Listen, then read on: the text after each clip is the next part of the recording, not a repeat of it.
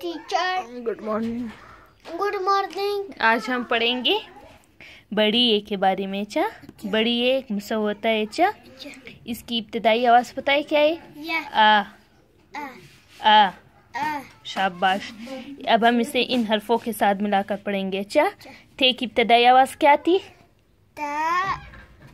हाँ इसकी ए बड़ी ए की इब्तदाई आवाज़ ए है। A A. ए। ए। ए। शाबाश। बड़ी ए की इब्तदाई आवाज़ क्या है? A. A. A. A vowels A. हाँ। थे की इब्तदाई आवाज़ क्या है? ता। हाँ। ए। ए। ता। ए। ते। शाबाश। ता ए।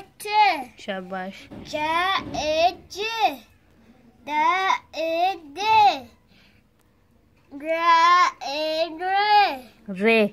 रे हाँ डा जा ए दे शाबाश। सा ए जे।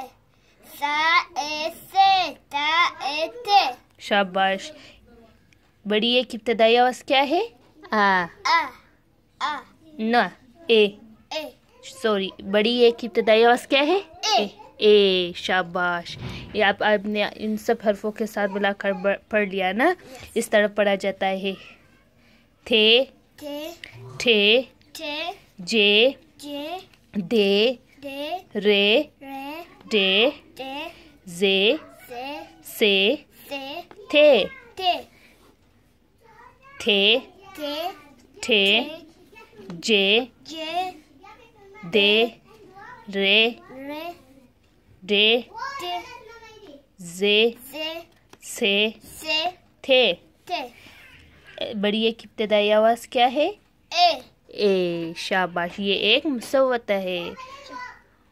Bye bye.